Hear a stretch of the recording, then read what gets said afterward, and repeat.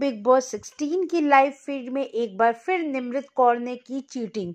जी हाँ आपको बता दूँ, बिग बॉस ने निमृत कौर को मौका दिया कि घर वालों की रैंकिंग करने का। तो इसमें भी निमृत कौर ने पार्शियलिटी की और अपने ग्रुप के मेंबर्स को वन टू फाइव रैंकिंग देकर प्रियंका, सौंदर्या, अर्चना और अंकित को लास्ट की रैंकिंग दी, जिससे जो भी सदस्य थे, जो भी कंटेस्टेंट है, उनके बीच में फूट आ गई, आपसी विवाद होने लगा।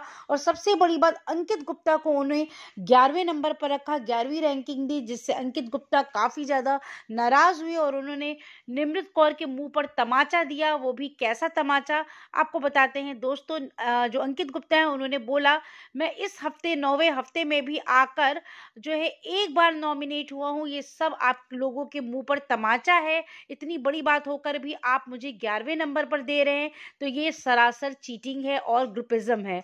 तो दोस्तों, निमृत कौर कैप्टनसी टास्क में भी बहुत ज़्यादा चीटिंग कर रही थी और कैप्टन बनने के बाद भी चीटिंग कर रही हैं। अभी वो ग्रुप ग्रुप खेल रही हैं, लेकिन देखना ये है, क्या उनके ग्रुप के लोग आगे निकल पाएँगे या नॉमिनेशन में सारे लोग होने के बावजूद एक लोग जो है एविक्ट हो जाएगा इस शो से? आपका क्या है कहना? मुझे कमेंट करके बताइएगा, चैनल को ज़रूर सब्सक्राइब करिएगा। मिलते हैं नेक्स्ट वीडियो में। Thank you.